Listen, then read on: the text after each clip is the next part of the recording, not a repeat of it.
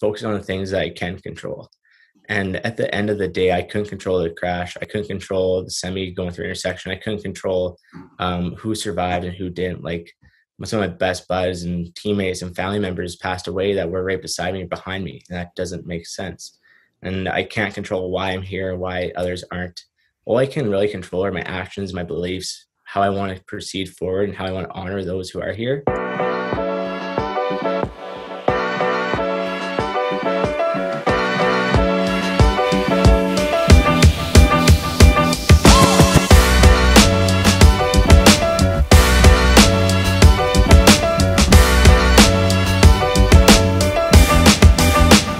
April of 2018, I laid out sticks for the Humboldt hockey players who were in a terrible bus accident on their way to their game. 16 people lost their lives that day, and there were 13 survivors. Today, I have Kaleb Dahlgren, who not only survived the accident, but he is living big and trying to make the most out of life. Kaleb, I feel like I already know you because I got a chance to read your book before we talked today. And you're just an incredible person.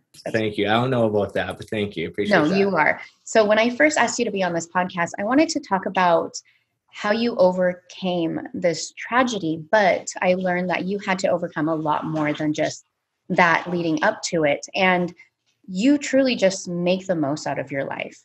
And so we're going to start kind of from the beginning. Like me, you grew up around hockey, and hockey was your number one thing. So Tell me what it was like growing up.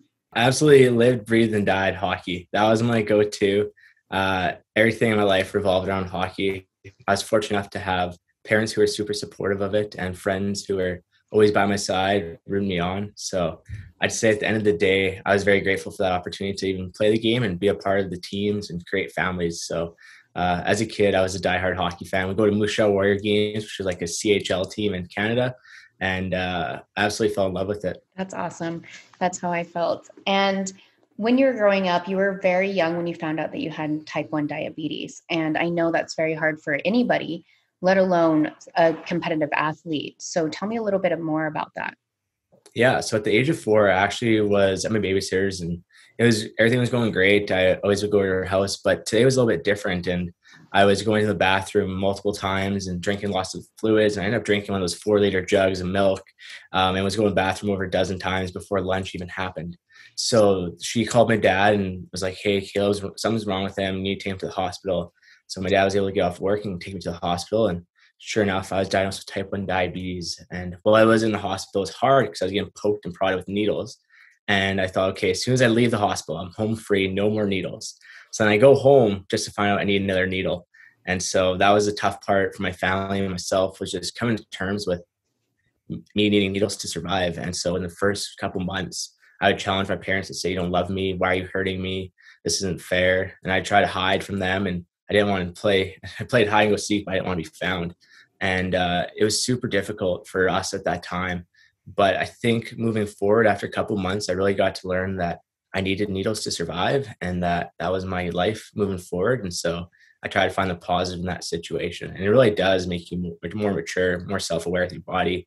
You have to watch what you're putting in carbohydrates wise um, and count your carbs. And so for me, that was what I had to do count my carbs and give myself insulin based on what I ate. So um, lots in the fitness industry can relate to counting calories or carbs or anything like that. So yeah, um, you and I are on the me, same page.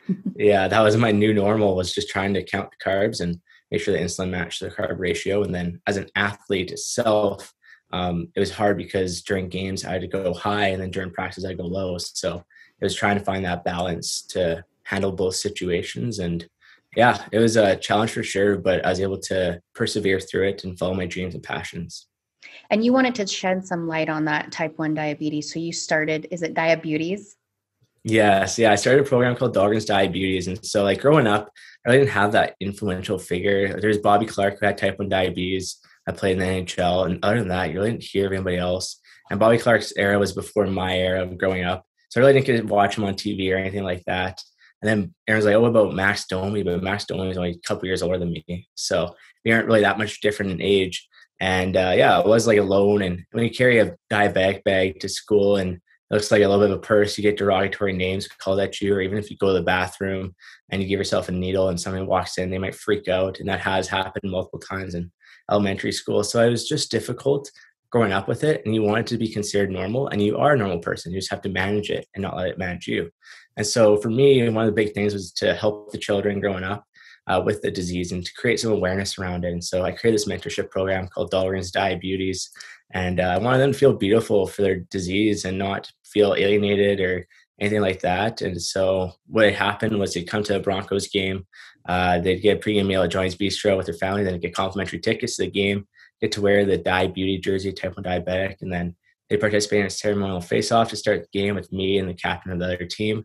And uh, then they'd watch the game. And afterwards, I'd go upstairs, meet with the family, and just talk about my journey with type 1 diabetes. Um, and then I'd add them to our Facebook group chat with all the other diabetes families. And I go to their school and do a school presentation. So at the end of the day, it was really great and it was a full circle because I want to create a bond with them. And so if they had questions like I had as a kid growing up, they could be answered by somebody.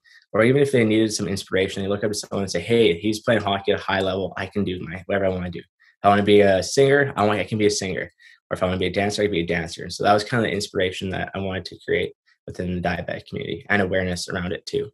And that's kind of what I was talking about when I said even before what happened had happened is that you always wanted to do more and help people and you were just a very inspiring person and i mean it speaks volumes that you started this program just because you wanted to help others and you wanted others to feel safe and feel like they have a happy place and mm-hmm. that kind of is what brought you to the humboldt community because you wanted somewhere where your program could really excel mm-hmm. yeah so for me i was in notre dame and i was a there and it's the town of Wilcox, which is 400 people. And I wanted the community to really rally around this initiative because it I wanted it, the, them to feel special. And so when they did get that open and ceremonial face off, the fans went absolutely nuts. And the kids would get a big glowing smile on their face and they'd love it.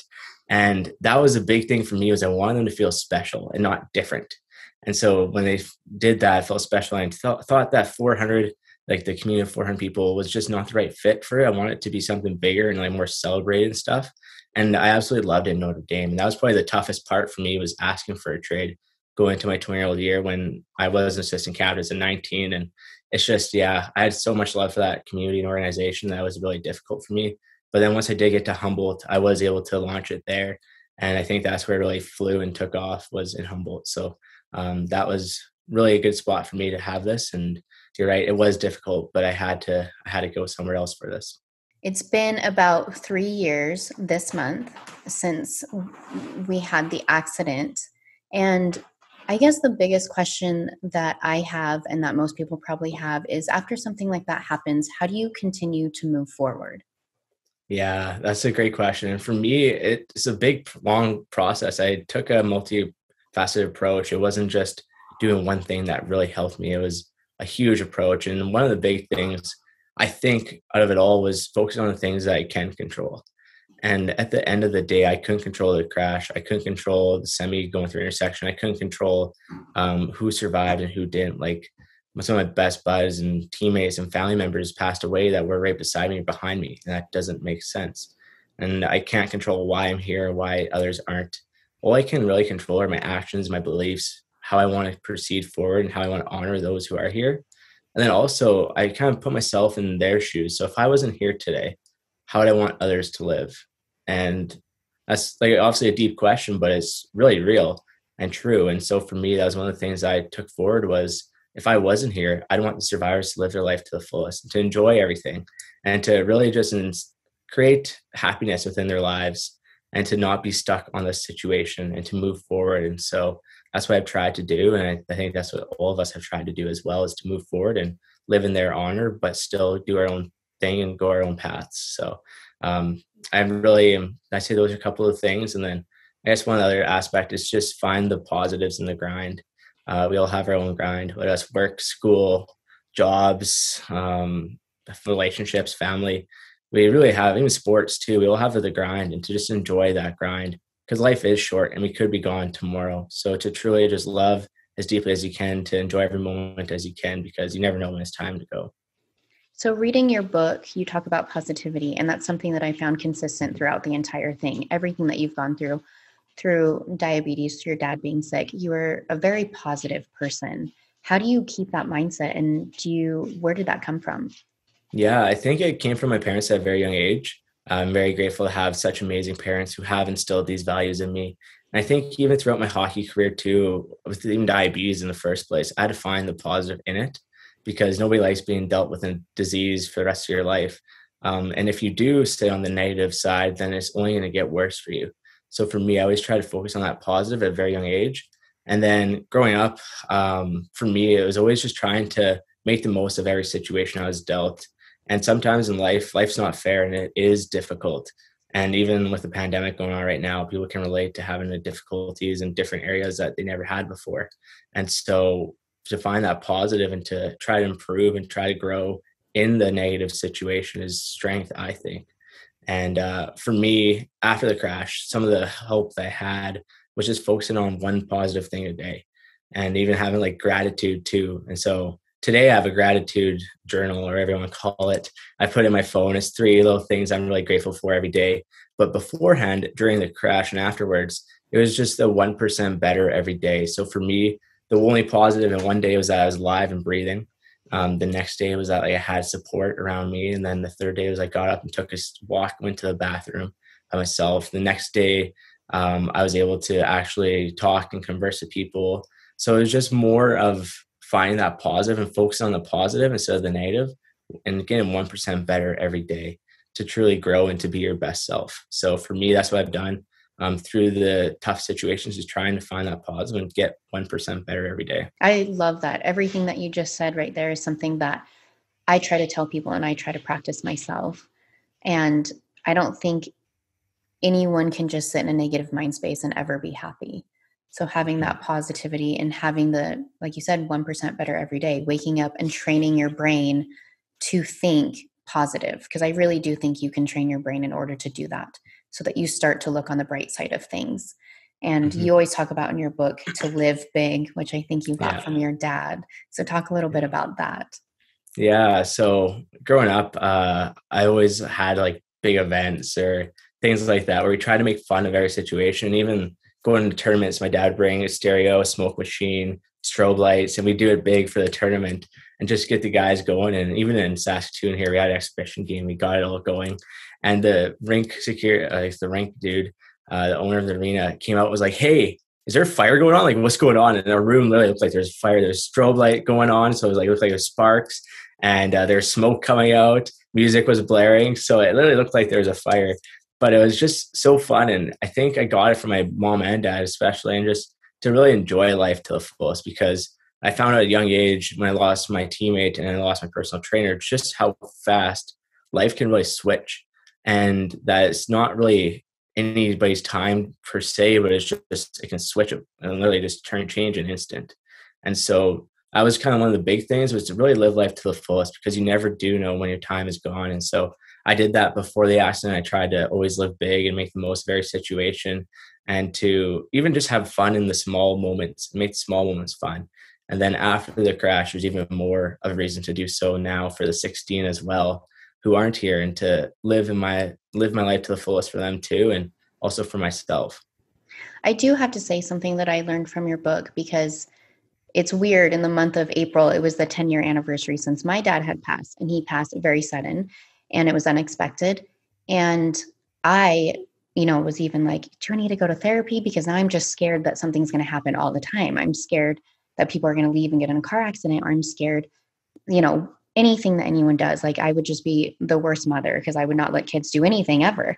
And I did learn in your book that you got on a bus shortly after to go to, I think, a Caps game, which yeah. shout out to Caps because that's my favorite team. And you got on the bus and people asked if you're okay. And you 1000%, which in your rightfully so, you said, no, that was basically a freak accident. Something like that doesn't happen and that kind of gave me perspective for myself being like hey you know what he's right this isn't something that happens all the time mm-hmm. yeah and that was one of the big things for me it was in the healing journey was that process because it was a freak accident and it was a once in a lifetime kind of thing and and if it does happen it does happen again but hopefully it doesn't i hope goodness it never does happen again but at the end of the day i can't live life in fear because for me I've been through lots of stuff and life is supposed to be fun and you're supposed to make the most of it. And if you don't really enjoy life to the fullest, or if you are living in fear, then you're not really embracing life to the fullest. And you're not really making the most of your time while you are here. And so for me, that was one of the big things was that it wasn't that bus, it wasn't that situation. Um, it was just another bus, like I've been on many other times in my hockey career, and that I find comfort in a home in. So, as you're recovering and you're going through your rehab, what do you think your number one motivator was? Ooh, I'd say my number one motivator was going back to Humboldt and doing it for the 16 who weren't here. And especially even like in first couple days in hospital, I really, really wanted to go back to Humboldt. And I really wanted to help that community heal because I knew how big of an impact it would have on them. Um, and so I really wanted to go back there. And that was probably one of my biggest motivations was just trying to get healthy enough to be back in Humboldt.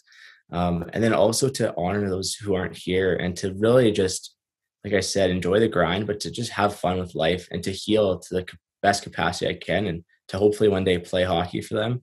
Ultimately, that didn't happen, but I think just to honestly be happy and live my life to the fullest and have those fun moments and to really make the most of everything that we have in life and to be grateful for all the support um, and even grateful for the time that I had with those people because there are 8 billion people in this world and the fact that I had a relationship with those 16 who weren't here those 20 on the bus is pretty special to say um, and I think that for me, that was one of the motivating factors was just to really continuing on. And it also reiterated my belief to live life to the fullest before the crash. So after that was another big piece. But yeah, I think Humboldt was big. And even returning to play because I was previously committed to York University verbally before the crash. And then after the crash, they still offered the spot to me and still said I can come either this year, three years down the road, five years down road, 10 years down road uh, as long as I want to be Lion, they're more than happy having me there. So I think that was another big motivator was just to follow my university dream of being a student athlete and pursuing that aspect of my life and my passion in that life. So I'd say there's a lot of different things uh, for me, but those were probably the three biggest ones. I love in your book how you wrote a piece about all 16 people that had lost their lives and what each of them have taught you, whether it be a life lesson, living in the moment, or just a different outlook on life. And so, for those people who have gone through something hard or some sort of loss, what would be your advice to them? Yeah, I think to just reflect and be grateful for the time that you've had with these people because in our whole situation of life, I think that we sometimes get lost in the moment of just trying to get through the grind of work, sleep, repeat, or, even work, sleep, relationship, repeat, work, sleep, school, repeat. Like it's just we get caught in that daily process and we lose touch of the things that really value and matter to us in life. And for me, some of the biggest things that matter the most are the relationships I have with people. And so I do think that we need to remember to always treat others how we want to be treated and to always make sure we say I love you to everyone that we love in our life because you might not see them next time you do and you want to make sure that they know how you feel about them. And so for me, that was one of the big things. Um, and then also just to have gratitude for the time that was spent and to enjoy the memories and celebrate their life because um, you're fortunate enough to have that relationship with them. And so every year on the three year anniversary, I celebrate the lives, the ones who aren't here. Um, I really try to make the most of it and have fun with it and remember them for who they were as people and the type of things that they left on me. So when I did write chapter 16, it was the most difficult chapter by far. Um, that one, and then right after the crash was hard, but that one in itself was pretty difficult. And it was just because I remembered all them and I took away so many lessons from them. And uh, to just reflect on that was difficult, but it was also super nice to know that they did have an impact on me and they truly did touch me in a special way. And now I can carry that forward throughout my life is living on with some of the things that they did teach me. That's amazing. I do want to wrap up our conversation with something that you said in your book that really stuck with me. Um, you said events happen, but life is about how you perceive the event and how you choose to react, which is something that really, really I try to live by because I always talk about the victim and the victor. And you can talk to anybody and they have their own story and everyone's fighting their own battle and everyone has gone through something but it really really does matter how you react to that and i think that you're mm-hmm. just such a great example of how you've overcome. And you're a great role model for others. Your positive outlook is so inspiring to me, and I'm sure to everyone across the world. And I just want to thank you for being a, a good person. And I'm really looking forward to what you're going to do for the rest of your life because you're still so young and you've done so much. And I really think you, the type of person that you are, you're going to achieve a lot and you're going to help a lot of people. And I think that's what it's about. Mm-hmm. Well, thank you so much. It really means a lot. And thank you for opening up to. I'm sorry about the loss of your dad. And I know it's hard, especially every anniversary is difficult in 10 years. I can't imagine. So I um, just want to say thank you for opening up about that too. And yeah, hopefully I am still young. I am 23, turning 24 here soon. So uh, still excited to write my story in this life too. And it's kind of just starting right now, to be honest. That was the first part one of my life. And this is the next exciting story to be written. And so uh, really looking forward to it and just excited to see where life takes me. Hopefully I'm able to help as many people as I can through chiropractic and uh, try, try to make a difference in the sporting world too. So really looking forward to it. Yeah. Well, I have your book here. So anyone who's watching or listening, it's called Crossroads. You need to read it. I actually I think I was crying through like 75% of it. Probably because our, our life is very I feel like it's very similar in so many ways growing up hockey and and having your dad and my dad and it was just it was a really good book and I told all my hockey friends to read it. But for those of you who want to follow you on social media or if they want to learn more about your diabetes, can you kind of spit out mm-hmm. some information for them to find you? Yeah, for sure. So they can just find me at www.kalebdahlgren.com. It's got all my socials in there, or they just type in at Kaleb Dahlgren on any social media because I keep it mainstream. I'm not too crazy. um, and then in my bios, there'll be lots about Diabeauties. So I'll have a link on Twitter and Instagram to my diabetes and then uh, I'll be working more on that to promote more of that stuff soon here. Um, it was just more focused on the book right now, but uh, yeah, I'm really looking forward to moving forward with the Diabeauties and really excited to see where it can go. I, I don't know what's going to happen with it. Still discussing it with the families, actually meeting with all of them here coming up in the next month just to talk it over and see where they think the program should go. But uh, right now, it's just nice to have 16 Diabeauties and just chat with them and have that personal connection that I've always wanted with somebody. Well, I'm sure they appreciate it just as much as you do. And you're making life easier for them. And that's what matters. Well, thank you. Yeah. And if anybody wants to reach out, I will respond to the DMs. I'm trying to respond to everybody. Uh, but yeah, I just, I think that having that personal connection right now, especially when we're so in a virtual world and we can't really be one on one with people, it's nice to just have that conversation or talk to people about certain things. So I will be responding to all the messages as well. Great, Kaleb. Well, thank you so much again for taking the time to talk to me. And I'm sure everyone enjoyed this interview. Thanks for listening to today's interview. Make sure to check back next Tuesday for a new episode.